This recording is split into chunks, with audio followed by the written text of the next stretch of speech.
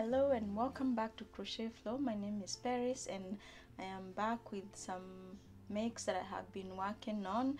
Like i have said um, in the last maybe two weeks i have been preparing for an upcoming farmers market and i am just trying to make um, stuff um, for that day in particular. I'm full of fluff here. Sorry about that.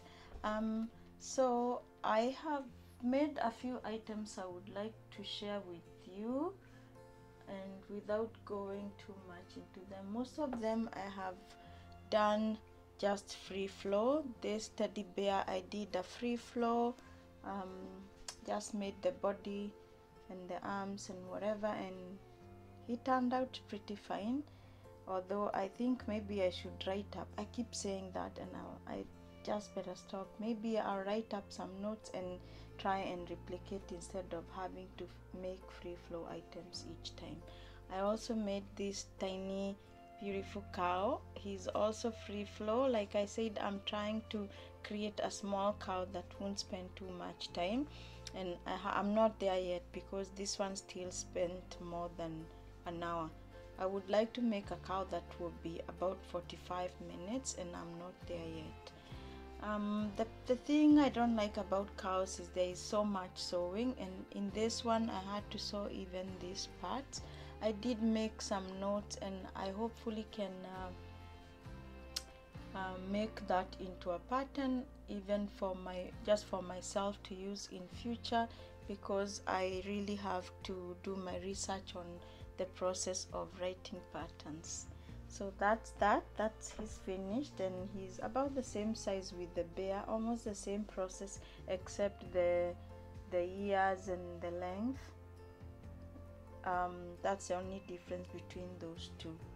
The on the other thing is this one is a free flow but of course um, it's um, inspired by crochet by Genna and I will attach her link down below if you're interested in making um, sunflower turtles. I don't follow any patterns. I just wing it and it turned out just fine. So I love this one. I think I may make some more after the market if this one sells.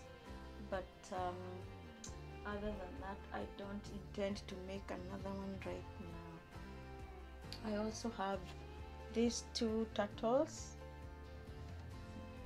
same process I just make the the shell and the legs they all work in rounds including the the claws or legs so it's a quick make. Um, except when I use a bunny blanket yarn it's a little bit tiring and it has too much friction so it takes me longer than when I use the sweet snuggles light yarn. So that's those that's that. I also made these two triceratops by following a video by Louis. I will attach his link down below. I haven't really made perfect ones but I'm hoping to do maybe two or three more of them and hopefully they will turn out better than the first one but I love them they are cute and they are quick and easy to make I'll share the video down below that I followed as well sorry i have been sick so my voice is not very may not be very clear and my chest still feels tight. So i may not be as bubbly as i should feel but it's all good. I also made this leggy froggy into a big huge um, frog. He looks really good.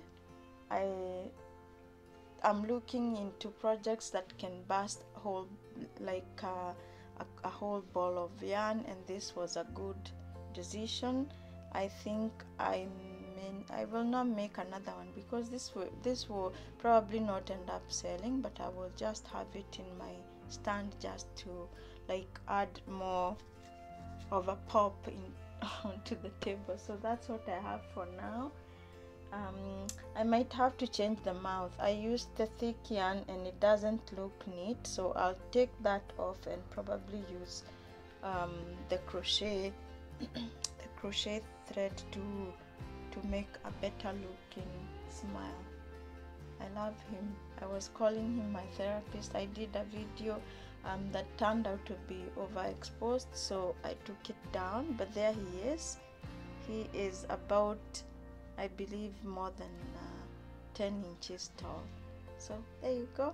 Just the same process as making a small leggy froggy, only using thicker yarn and make more stitches. The other thing I made is this big dino. I followed a video tutorial. I don't think I did very well in this one because uh, first of all I used a hook size 10 10 millimeters which is quite large and the holes are too big. I'm not going to be using that hook again because then the stuffing can easily like in some spaces you can see the stuffing but he still turned out somewhat nice. This is also something i will use maybe just to to add color into my booth he is purple and black. Maybe the lighting here doesn't allow you to see the proper color but that's him. He is purple and black and i love him.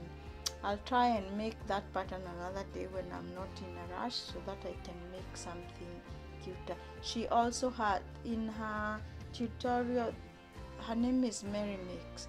Uh, in her tutorial she uses the um, worsted weight yarn and it gives very very beautiful mini dinos and I intend to try using that one in future when I have more time. So that's him. Um, I I think I like him. He took me quite a bit about an hour and a half or maybe maybe less but more than an hour for sure. And he is gorgeous. That's another big item I made the other thing I made to finish a whole ball of yarn was this nice beautiful basket. Very easy. They do have baskets in the wrapping for this yarn but I didn't follow the pattern. I just kind of winged the basket like I say. So I made it and then here I chained 10 and skipped I also skipped 10 um, stitches there to make the handle and did it on the other side as well. And then after that I only made one two three rows. And it looks nice. It's really soft. I like it. And I also added my tag. I ordered this off Amazon. They do have um, quite a large um, whatever this is called bolt and screw. So they are kind of I would like a smaller um, a smaller label but it gives it uh, it makes it look more professional so to speak. I don't know. I like it. So there is a basket and this one works pretty fast. Maybe I in an, less than an hour I was finished with this. Um, that's that. I'll be make probably be making more baskets and also I made these ones are not to finish a whole ball of yarn but look at that. I made these beautiful um, pickles. And I think I'm gonna be making more pickles for sure because they work very fast and they are kind of cute. I never really thought about trying these ones. These ones I didn't follow any pattern. I just like I say go with the flow I just make made the tube and filled with um, with uh, my polyfill and added some eyes I did do some pop is it popcorn um, the the stitch that kind of pops out just to give it a different look. There is patterns out there and I didn't follow a pattern though I just made it and I made the tiny one as well with the pink lips I think I think I don't like that though. I might have to take it off. This one has the same green lips. Looks kinda grumpy but that's okay. I'm gonna make more of this. And I think that's about it. The other thing I have been thinking about is how I can find eyes that are actually safe for kids. I have tried following a blog to crochet my own eyes. This ones kind of look creepy. They look like spiders but anyways the concept is to use the crochet thread which is um,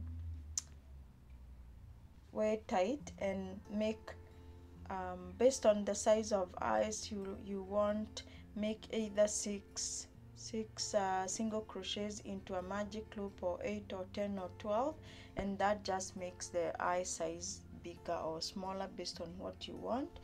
And that's what I'm thinking I will do to make um, baby safe items. I don't like how this the first one turned out but you can see I was trying to give it some eyebrows.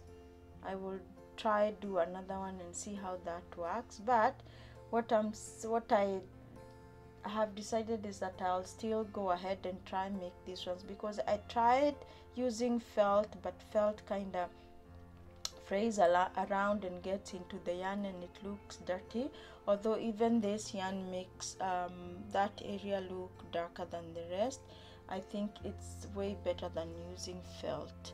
However there is felt eyes out there that I believe I can buy. I haven't found any that I have really considered. Maybe that will be the solution but for now I will crochet my own eyes just to have a few baby safe items for without safety eyes because as we know safety eyes are not really safe for babies because I have seen where the safety eye comes right off. Unless you have I have tried using a cloth to secure the eye in the back and sometimes even burn it but I, I haven't kept track of the things that I um, secured in that way. So I really don't know in stuffed toys which ones are safe for babies and which ones are not.